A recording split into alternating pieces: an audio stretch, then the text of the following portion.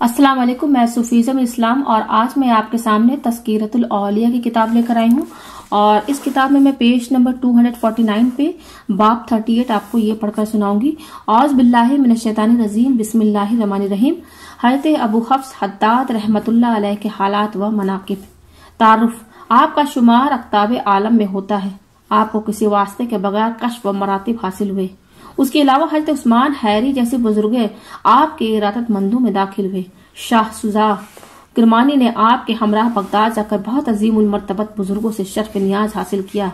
हालात अहद शबाब में आपको एक कनीज सेज खो गया। उसको हासिल करने के लिए निशापुर जाकर आपने एक जादूगर से मुलाकात की। लेकिन उसने यह शर्त लगा दी कि चालीस यौम इबादत को तर्क करके मेरे पास आना। चुनाचे उसकी हिदायत पर अमल करने के बाद जब उसके पास उसके पास पहुँचे तो उसने इस तरह के जादू करना शुरू किए, मगर एक भी कारगर न हो सका। जब उसने कहा कि इस चालीस यौम में तुमने ज़रूर कोई नेक अमल किया है तो आपने फरमाया कि मैंने कोई ऐसा अमल नहीं किया। अलबत्ता इतना ज़रूर हुआ कि रास्ता में पड़े हुए पत्थर वगैरह उठाकर इस नीयत से फेंक देता था कि किसी को ठोकर न लगे। यह सुनकर जादूगर ने कहा कि किस कदर अफसोसनाक है यह बात कि आप ऐसे खुदा की इबादत से गुरेजा हैं जिसने मामूली सी नेकी को वह कबूलियत अता की कि मेरे तमाम जादू नाकाम होकर रह गए। आपने उसे वक्त तौबा करके खुदा की इबादत शुरू कर दी। आपको हद्दात। इसलिए कहा जाता है कि आप लोहार थे। आप एक दिनार रोज़ाना कमा कर रात को फुकरा में तकसीम कर देते और बेवा औरतों के घरों में चुपके से फेंक देते थे ताकि किसी को इल्म न हो सके। खुद ईशा के वक्त भीख मांगकर या गिरा पड़ा साग पात लाकर पका लिया करते थे। बरसों इसी तरह ज़िंदगी गुजारते रहे। एक मरतबा कोई नाबीना आपकी दुकान के सामने से यह आयत तिलावत करते हुए गुजरा व बदा मालम यकून मुहतसबूना। यानी मिन जानी बिल्लाह, उन पर वह बात ज़ाहिर हो गई जिसका किसी को इल्म न था। यह आयत सुनकर ऐसी बेखुदी तारी हुई कि भट्टी में से गर्म लोहा निकालकर हाथ पर रख लिया और शागिर्दों को हुक्म दिया कि उसको हथौड़े से कूट दो। यह सुनकर शागिर्द हैरत जदा हो गए। जब आपको कुछ होश आया तो तमाम दुकान का माल लुटाकर गोशा नशीन हो गए। फरमाया कि मैंने अपना भेद छुपाना चाहा, लेकिन खुदा की मर्ज़ी मालूम नहीं होती।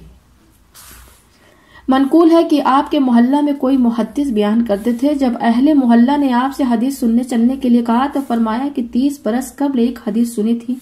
आज तक उस पर मुकम्मल अमल न कर सका। फिर मजीद हदीस सुनकर क्या करूँगा? जब लोगों ने वह हदीस पूछी तो आपने सुना दी, बेहतरीन मर्द मुसलमान वही है जो ऐसी चीज़ों को छोड़ दे जिनमें कोई इस्लामी मफाद मुजर न हो। एक मरतबा चंद शादियों के हमराह जंगल में जाकर ज़िक्र इलाही में मुश्तरक हो गए। तो वहाँ एक हिरन आकर आपकी आगोश में लौटने लगा। यह देखकर आप रोने लगे और वह हिरन भाग गया।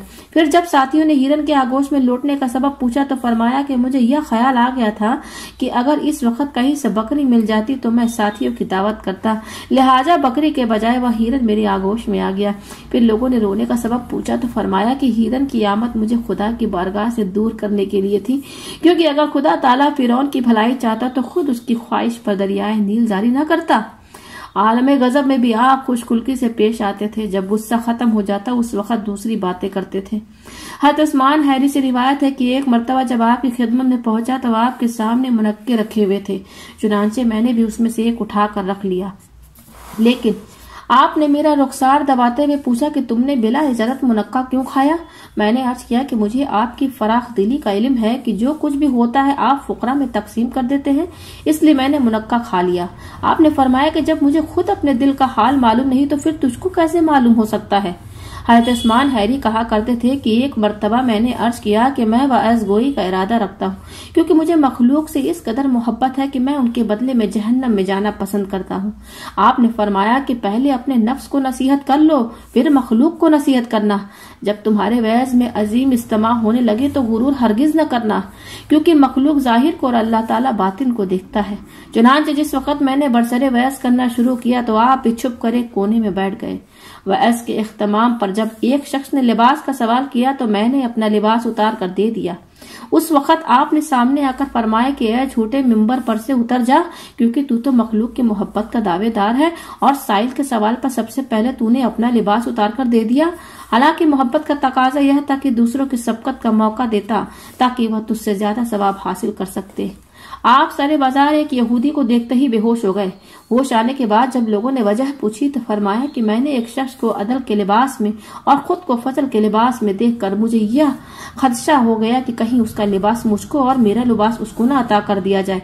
जब सफ़र हज के दौरान बगदाद पहुँचे तो ऐसी फसाहत के साथ अरबी ज़ुबान में गुफ्तगु की कि अहले ज़ुबान भी दंग रह गए। हालाँकि आप फारस के बाशिंदे थे और अरबी ज़ुबान से कतान न वाकिफ थे। एक मरतबा हज़रत जुनायद बगदादी से आपने फतूत का मफहूम पूछा तो फरमाया कि अच्छे काम को न तो किसी पर ज़ाहिर करो और न अपनी जानब उसको मंसूब करो। आपने फरमाया कि मेरे नज़दीक तो फतूत का मफहूम यह है कि खुद इंसाफ करके दूसरे से इंसाफ के तालिब न हो। यह सुनकर हज़रत जुनायद ने अहले मजलिस से फरमाया कि आज से इसी पर अमल करो। आपने फरमाया कि तुम खुद भी उस पर अमल करो। हज़रत जुनायद ने फरमाया कि वाकई शुजात इसी का नाम है। कोई रुअब की वजह से बात नहीं कर सकता था। उस वक्त मुअद्दिबाना हाथ बांधे खड़े रहते। जब आप बैठने की इजाज़त न देते एक मरतबा हज़रत जुनैद ने कहा कि आप तो मुरीदीन को आदाब शाही से रोशनास कराते हैं। आपने जवाब दिया ताकि सरनामा देखकर ही खत का मजमून ज़ाहिर हो जाए। फिर आपने हज़रत जुनैद से कहा कि जेरबा और हलवा तैयार कराओ।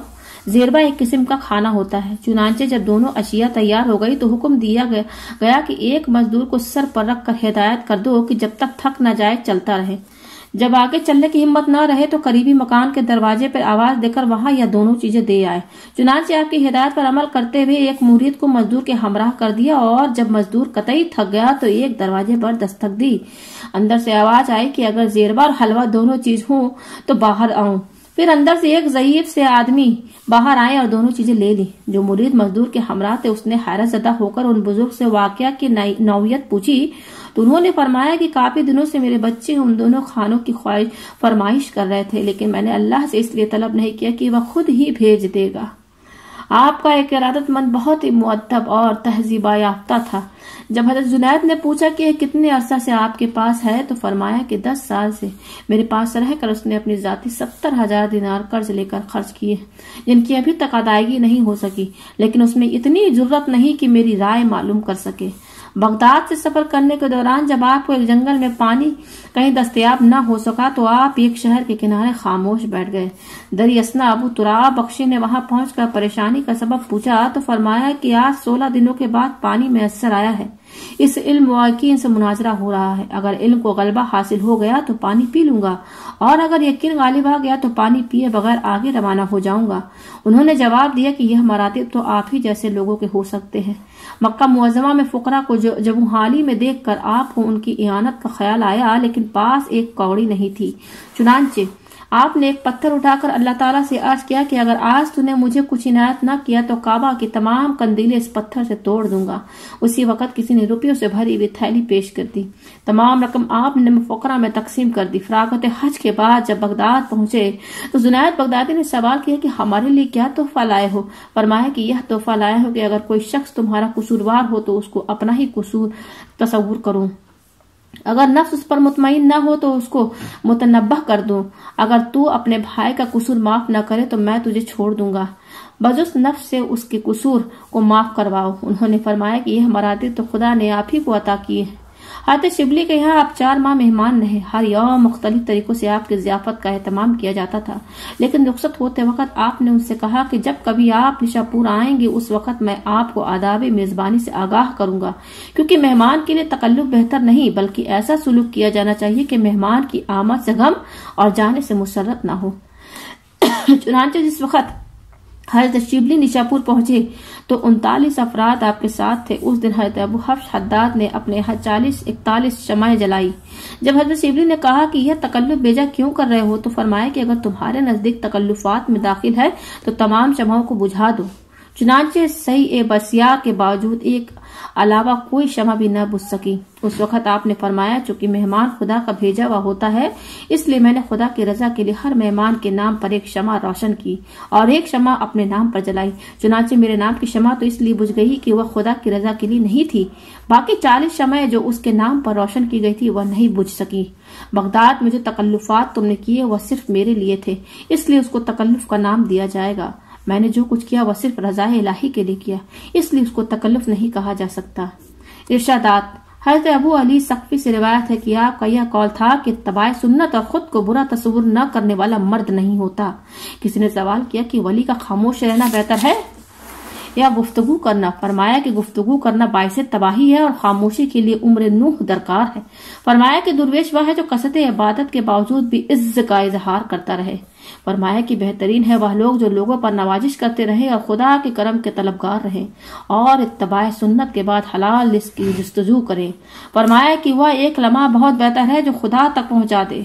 फरमाया कि वह शख्स अंधा है जो सनत को देखकर मसनू को पहचानता है। मसनू से सनअत को नहीं पहचानता। फरमाया कि खुदा कदर पकड़ने वालों पर तमाम दर खुल जाते हैं। सरदार अम्बिया हजूर पाक सल्लल्लाहु अलैहि वसल्लम के इत्तबा से तमाम सरदार फरमाबरदार हो जाते थे। आदत हज़रत महमिश बयान करते हैं कि मैंने 22 साल आपके हमरा रहकर यह अंदाज़ा किया कि आप कभी गफलत व मुशरत के साथ खुदा को याद नहीं करते थे, बल्कि निहायत एहतराम व अजमत के साथ याद करते थे। खौफ इलाही से रुख ऐसी तब्दील हो जाता था जैसे निजा की कैफियत तारी। किसी ने आपसे सवाल किया कि आप खुदा की जानब क्यों मुतवजह होते हैं? फरमाया जिसलिए मोहताज दौलतमंद की जानब रुजू करता है। अब्दुल्ला सलमा ने लोगों से यह हिदायत की थी कि मेरा सर अबू हफ्स हद्दाद के कदमों में रख देना।